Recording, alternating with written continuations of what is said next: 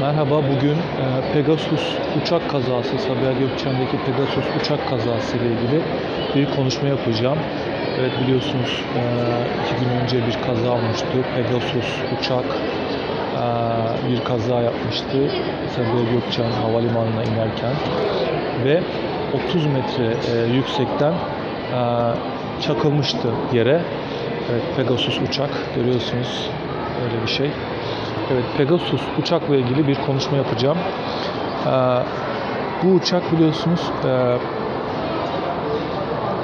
Sabiha Gökçen Havalimanı'na inerken e, 30 metre yüksekten e, yere çakılmıştı.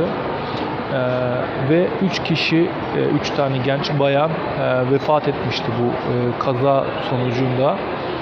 E, yani ölenlere Allah'tan rahmet diliyorum.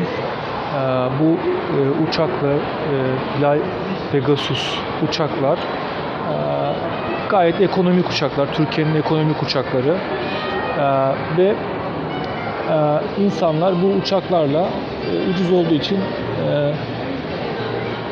yolculuk yapıyorlar. Ben de ben de daha önce bununla yolculuk yapmıştım. Evet ve e, bu Pegasus uçak e, maalesef kaza yaptı ve 3 kişi, 3 tane genç bayan vefat etti bu kaza sonucunda. Ee, bu Sabiha Gökçen Havalimanı'nın e, pisti sanırım bir tanesi yapım aşamasındaymış. Bir tane pisti var şu anda henüz kullanılan. Diğer pisti e, kullan, e, yapım aşamasında. Diğer pisti yaklaşık 4 senedir bit, bitmemiş. Bu pisti yapan firma da hmm, sanırım İstanbul Yeni Haval, Havalimanı'nı, İstanbul Havalimanı'nı yapan firmaymış. O nedenle e, 4 senede bitirilememiş ikinci pist. Bu yüzden biraz eleştiriler var. İnşallah o da yapılır. E, mevcut pist e, bir tane pist. E, o da e, sanırım yaşlı diyorlar. Pist yaşlı diyorlar.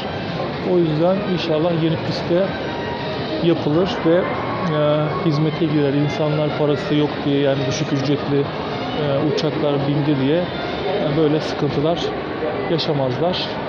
Evet uçaklar bu şekilde Dediğim gibi tekrar e, ölenlere Allah'tan rahmet diliyorum. E, teşekkürler. Ha, bu arada ben uçaklara binmekten cidden korkuyorum. E, uçağa binerken e, mutlaka e, biraz başımın e, yani unut onu hatırlamayacak olduğum şekilde biraz bir şeyler içiyorum. Ne içiyorum? Bir tane şarap içiyorum ki o şekilde uçağa biniyorum. Yoksa başka türlü uçağa binmem benim çok zor.